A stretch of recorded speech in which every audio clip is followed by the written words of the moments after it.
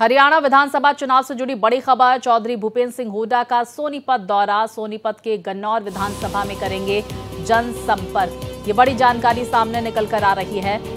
हरियाणा विधानसभा चुनावों से जुड़ी हुई, जहाँ पर पूर्व मुख्यमंत्री भूपेंद्र सिंह हुड्डा सोनीपत दौरे पर रहने वाले हैं, जहाँ पर चुनावी प्रचार की कमान संभालते हुए नज़र आएँगे भूपेंद्र सिंह हुड्डा। एक तरफ़ जहाँ मुख्यमंत्री नायब सिंह सैनी चुनावी प्रचार करेंगे तो वहीं पूर्व मुख्यमंत्री, कांग्रेस नेता भूपेंद्र सिंह हुड्डा भी प्रचार अभियान की कमान संभालते हुए नज़र आएँगे सोनीपत दौरे के दौरान। ये बड़ी जानकारी सामने निकल कर आ रही है। गन्नौर विधानसभा में करेंगे जनसंपर्क। तो देखिए, हरियाणा विधानसभा चुनाव बेहद नज़दीक है। पाँच अक्टूबर को वोटिंग का दिन है। आठ अक्टूबर को नतीजे आएँगे। ऐसे में लगातार तमाम पार्टियों ने अपनी पूरी ताकत झोंक दी है। एक एक सीट पर चुनावी प्रचार अभियान की कमान संभालते हुए दिग्गज नज़र आ रहे हैं। क्योंकि हर सीट बेहद महत्वपूर्ण। विस्तार से जानकारी के साथ मेरे सहयोगी ओपी राय हमारे साथ जुड़ गए हैं। ओपी राय, हम आपसे समझने की कोशिश करेंगे। एक तरफ़ देखिए, मुख्यमंत्री नायब सिंह सैनी चुनावी प्रचार की कमान संभालते हुए नज़र आएँगे। दूसरी तरफ़ कांग्रेस नेता, पूर्व मुख्यमंत्री भूपेंद्र सिंह हुड्डा चुनावी प्रचार की कमान संभालते हुए नज़र आने वाले हैं।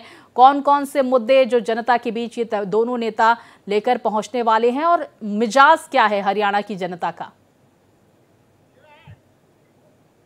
देखिए कांग्रेस पार्टी की तरफ़ से जहाँ भूपेंद्र सिंह हुड्डा आज सोनीपत में दौरा करेंगे, वहीं दीपेंद्र हुड्डा जो हैं वो रानिया जो है सिरसा में यहाँ पे और कल्लावली में वहाँ पे जो है रैलियाँ करेंगे हेलीकॉप्टर से दौरा कर रहे हैं आज वो।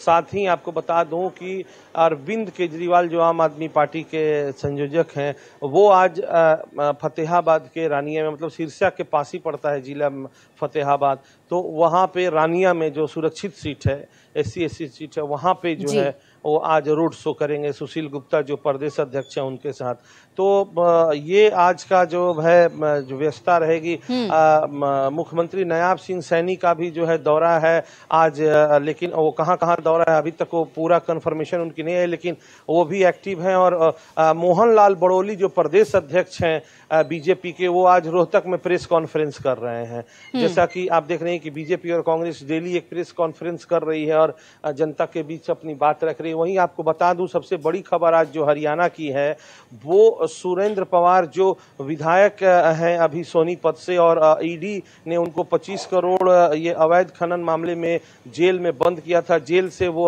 नॉमिनेशन किए थे। उनको हाई कोर्ट ने आज जो है उनकी जो सुनवाई करते हुए उनकी जमानत याचिका पर केस को ही रद्द कर दिया है कि अवैध गिरफ्तारी ईडी ने की है।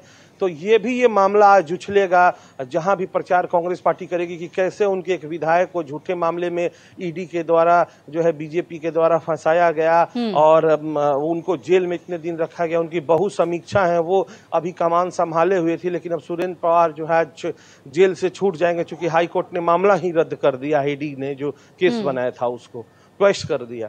तो ये आज बड़ा मुद्दा होने वाला है। हर जगह आप देखिएगा, हरियाणा में जहाँ भी चुनाव प्रचार होंगे, इसकी चर्चा कांग्रेस द्वारा की जाएगी।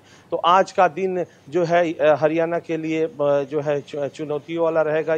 चूँकि ये जो मामला आया है तो बीजेपी की सरदर्दी आज हरियाणा में बढ़ेगी। जी। बिल्कुल, देखिए, चहलकदमी ओम प्रकाश काफ़ी तेज आज नज़र आएगी हरियाणा में, क्योंकि जैसे जैसे चुनाव नज़दीक आ रहा है, नेताओं के दौरे भी होते जा रहे हैं। चाहे दिल्ली से भी नेता पहुँच रहे हैं, हरियाणा में चुनावी प्रचार की कमान संभालते हुए नज़र आ रहे हैं। ओम प्रकाश, अब हम आपसे समझने की कोशिश करेंगे। चंडीगढ़ से आप हमारे साथ मौजूद हैं। हरियाणा की जनता का क्या कुछ मिजाज है इन पार्टियों को लेकर? और इनेलो और साथ ही साथ जो जेजेपी है, उनकी क्या स्थिति आप देख रहे हैं क्या उनकी तरफ़ से, किस तरह से प्रचार अभियान जो है संभाला जा रहा है, इसको लेकर कोई जानकारियाँ सामने निकल कर आ रही हैं क्या? या फिर बड़ी पार्टियाँ ही चुनावी मैदान में प्रचार करती हुई नज़र आ रही हैं? देखिए मैं आपको बता दूँ कि मैं चंडीगढ़ से चुनावी कवरेज के लिए जो हमारी टीम निकली है तो उस टीम के साथ मैं निकला हूँ चंडीगढ़ से और अभी मैं बिल्कुल चंडीगढ़ से तकरीबन 300 किलोमीटर की दूरी पर डबवाली जहाँ की हरियाणा खत्म होकर पंजाब शुरू होता है। पंजाब का भटिंडा आ जाता है लंबी आ जाता है बादल गाँव आ जाता है जहाँ से प्रकाश सिंह बादल जहाँ के रहने वाले हैं और इधर हम्म। चौटाला गाँव है डबवाली से तकरीबन पच्चीस किलोमीटर जहाँ के ओम प्रकाश चौटाला है। तो ये एक राजनीतिक अखाड़ा जो सिरसा में ये कहा हम्म। जाता है। है ऐसी जगह पर मैं डबवाली में अभी पहुँचा हूँ। और। यहाँ जो जो रास्ते में मैंने चाहे वो मैंने हिसार का दौरा किया रोहतक का सोनीपत का भिवानी का और सिरसा का फतेहाबाद का जहाँ भी मैं जा रहा हूँ लोगों में एक बात है बदलाव की। और जिस तरह की बात जो कांग्रेस पार्टी को लेकर जो लोग कर रहे हैं जो बीजेपी के 10 साल के शासन में भले ही बीजेपी अपने कारनामे गिनाते रही कि हमने ये किया हमने वो किया लेकिन सबसे बड़ी बात है कि किसान नाखुश है। जो भी किसान है अगर गाँव में हम जाते हैं तो वो बिल्कुल। कहते हैं कि ओम प्रकाश आप बने रहिए। एक बड़ी खबर हम इस बीच दर्शकों को दे देते हैं। जिस बात का आप ज़िक्र कर रहे थे। हरियाणा विधानसभा चुनाव से जुड़ी बड़ी खबर। अरविंद केजरीवाल चुनावी प्रचार की कमान संभालते हुए नज़र आएँगे।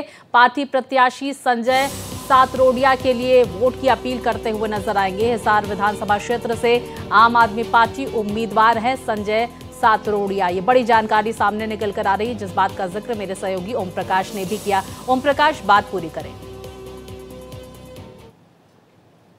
आपको मैं बताना चाहूँगा कि जिस तरह से जो बात हरियाणा की की जा रही है, जो विधानसभा चुनाव की, उसमें आप देखेंगे कि किसानों का कहना है कि उनसे चाहे वो फ़सल बीमा की बात कही जाए या उनके जो पेंशन बुज़ुर्ग पेंशन हरियाणा में जो दिया जाता है जो अभी तीन हज़ार रुपये पूरे देश में नंबर वन है लेकिन उसके कागज़ इतने पेचीदा कर दिए गए हैं पोर्टल के माध्यम से कि एक कागज़ वो पूरा करते हैं तो दूसरे कागज़ की मांग की जाती है।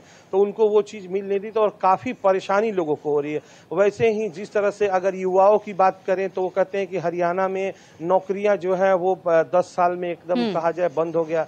जो भी अगर कोई इम्तिहान हो रहे हैं नौकरी के या कुछ उसका पर्चा लीक हो जा रहा है और हाईकोर्ट हाई कोर्ट में मामला चला जा रहा है बिल्कुल देखिए ओम प्रकाश ये तमाम मुश्किलें जनता के सामने निकल कर आ रही है। आपने जिस बात का ज़िक्र किया पोर्टल की सरकार को लेकर जिस तरह से लगातार विपक्ष भी निशाना साध रहा है, हालाँकि पीठ थपथपा रही है। पोर्टल की सरकार के मामले में मौजूदा राज्य सरकार, लेकिन कहीं ना कहीं दुश्वारियाँ आम जनता के सामने निकल कर आ रही है। जहाँ पर मोबाइल नेटवर्क है, नहीं है, वहाँ पर पोर्टल कैसे काम करेंगे? एक बड़ा सवाल यहाँ पर होता है। इस पर जनता इसको कैसे लेती है और किसे अपना प्रतिनिधि चुनती है, ये देखना महत्वपूर्ण होगा।